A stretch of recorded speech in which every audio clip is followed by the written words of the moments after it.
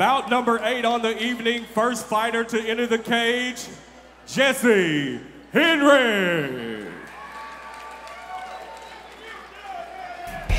Jessie Henry, six foot. Jessie Henry six fighting out Elite Combat, inches tall. 175. Now you're supposed to weigh 175, but don't be talking trash now. You know you didn't weigh 175. No, I'm just playing. He took a last minute fight and he tried to cut as much weight as possible, but he weighed 177.4. He came in at 178. He tried to cut down from like 192 pounds, but the, the, the other opponent, they were like, man, we didn't even care. He, he took this fight last minute. You know, things happen in MMA fights. Opponents drop. It could be blood work. It could be blood pressure. And there have been accidents. You know, when these guys are able to show up, put it all on the line here. Jessie Henry, nickname Overtime, 25 years old. His reach as long as, well, that's what he says, fighting out of Shreveport Elite Combat. Trains with Brent Mason, two wins, four losses. And let's check out his opponent, Tyler Stewart. Alrighty, the second fighter to enter the ring, My name's Tyler. Stewart. Tyler Stewart. My name's Tyler Stewart. I'm fighting for Off the Chain MMA out of Hot Springs, Arkansas. I'm fighting 175.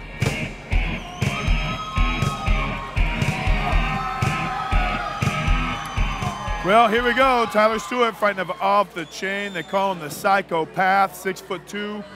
He weighed in under today. He's supposed to weigh in at 175. Psychopath weighed in at 173.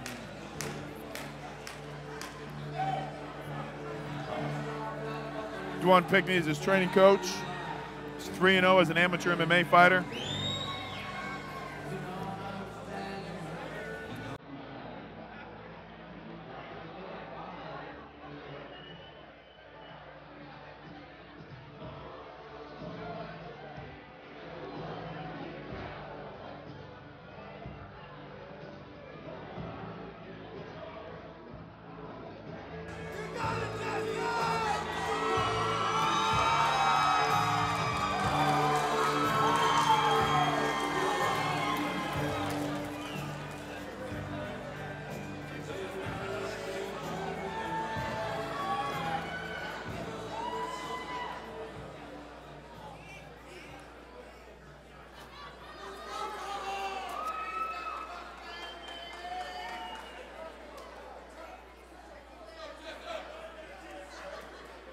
This is the co-main event of the evening, sponsored by Chubby Cheeks Liquor.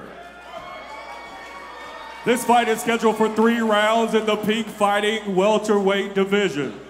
Introducing first, fighting out of the blue corner, mixed martial artist holding a two and four record. He stands six foot six inches tall, weighing in at 177 pounds, four ounces. Fighting out of Shreveport, Louisiana, Jessie Henry!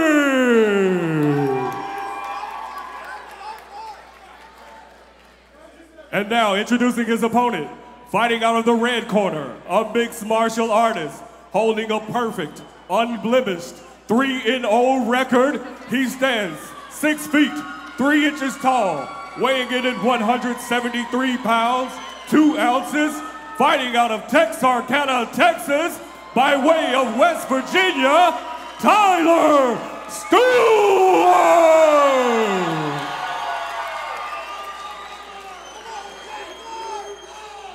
Tyler is pumped. Tyler Stewart, Jessie Henry, 6'6, 6'2. Tyler Stewart, oh, he, he's coming out for that push kick.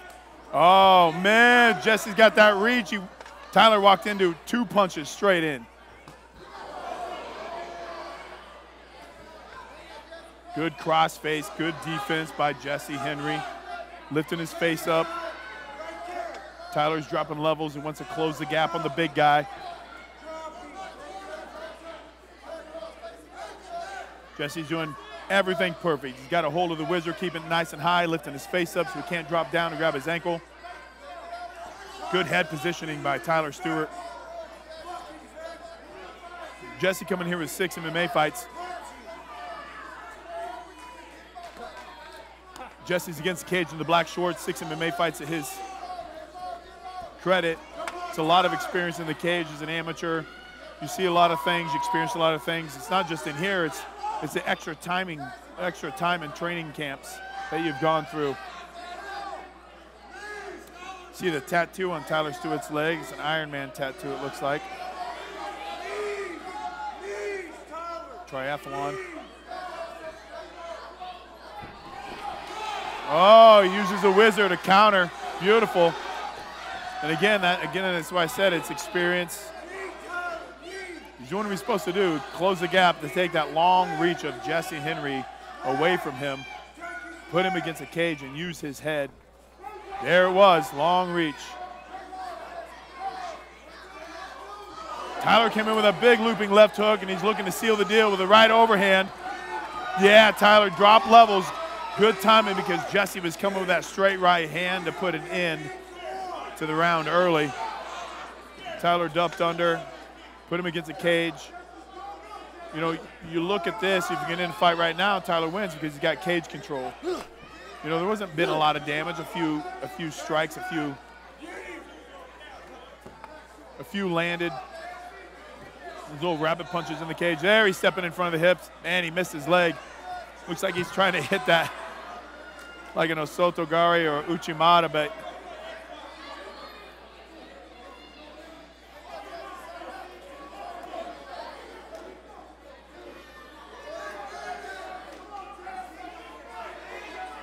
Got a little damage from one of those strikes from Tyler Stewart. Jessie Henry's got a little blood coming out of his nose against the cage. If he doesn't lift Tyler Stewart's head up, Tyler's dropping levels. That's what he's doing right now. He's getting his hands locked. There he goes. Long legs. Lock him in his guard. Trapping the wrist. He's locking the triangle up. He's locking the triangle up. Grab your shin. Finish the fight. Tyler's got a posture. Tyler's got a pass. I'm pounding on the table. Oh, and another save by the bell. Man, it was a matter of hitting an angle and finishing that lock triangle. You're going to the first round. Tyler Stewart's got it. He's got the takedown. He's got the damage. He's got the cage control. Jessie Henry has got to use his reach. He's too flat-footed. And what it is is, is just not moving.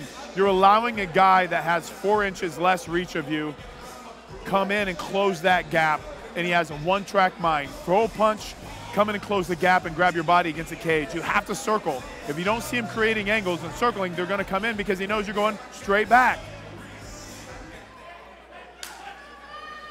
Yeah, he said his favorite is a two. We'll see if he can land it. There it was. Nice little right leg round kick to a two. Little hike. Oh, turn Tyler Stewart around. He's got to use his reach. Tyler is getting pieced together like KFC Give me a three piece. Hold the fries. And exactly what I said Tyler was going to do is drop levels, put him against the cage, wrap him up. But man, that, that's just the, the, the knowledge that Jessie has to be aware of. His hands work for him. He has to create an angle. If you don't, you go straight back and there's a cage panel there. So he's got the underhook.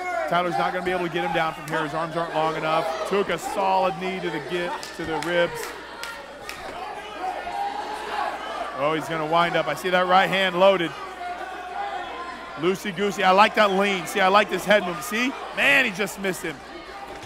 I like that head movement of Jessie. Knows it's coming in because Tyler is telegraphing his punch. He's got, he's not throwing the one. His one is just leading the two.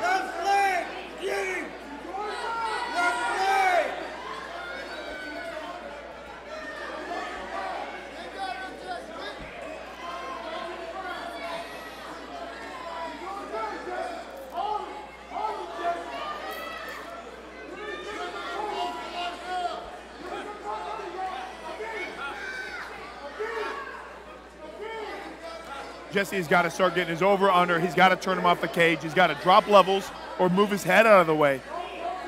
He wants Jon Jones ever against the cage. And The first thing he does is he wraps his free arm around the opposite side of his opponent's head, pulls it across, clears. Oh, I like that shoulder control from Tyler. Tyler's back in the game. He's looking to throw some strikes with his own knees. Nice, using that whizzer to throw his hook. Swing and a miss. Tyler's telegraphing. Look at his body, leans before he throws that kick. One, two.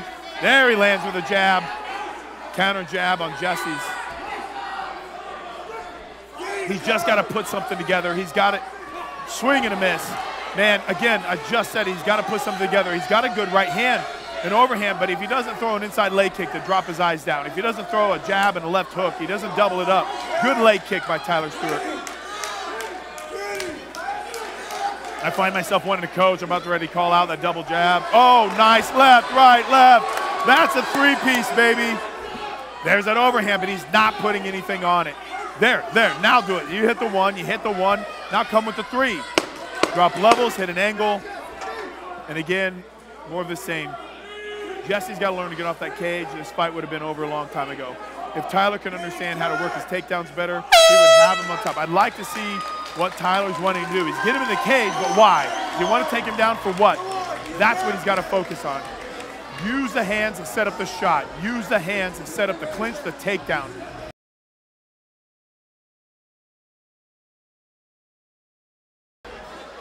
All right, going to Craig. Once again, we go to the card. Winner by unanimous decision. Out of the red corner, Tyler Stewart!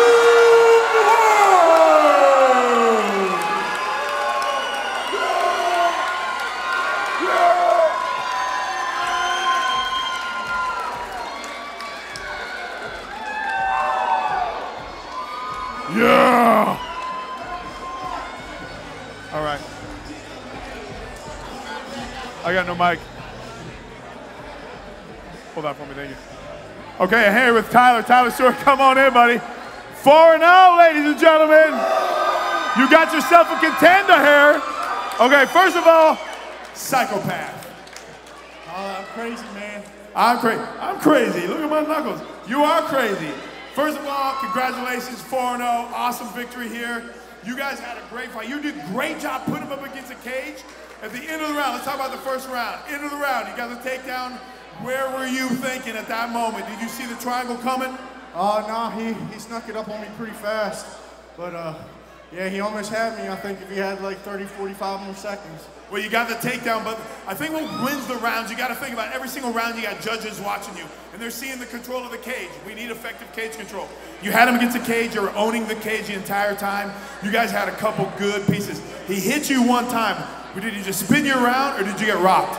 No, he just spun me around. None, none of the punches really affected me. He's too weak. Too weak. Psychopath, too strong. Man, it was a great performance. The, the victory was great for you. Man, you got to live this up. Give your opportunity for a shout out here. Uh, I want to thank Off the Chain MMA, Texarkana Jiu Jitsu, and Scott Ashley. You're out in the crowd.